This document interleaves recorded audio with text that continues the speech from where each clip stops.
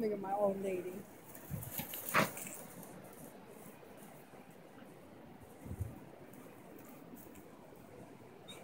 Come let's go play. It's like 60 degrees out here, guys. Barely any wind.